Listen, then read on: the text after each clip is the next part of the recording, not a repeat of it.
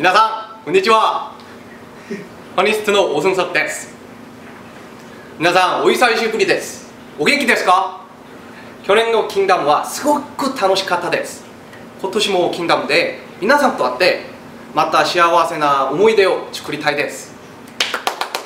皆さん早く会いたいです。12月16日17日幕張メッセで会いましょう。以上本ニストのオスンサッでした。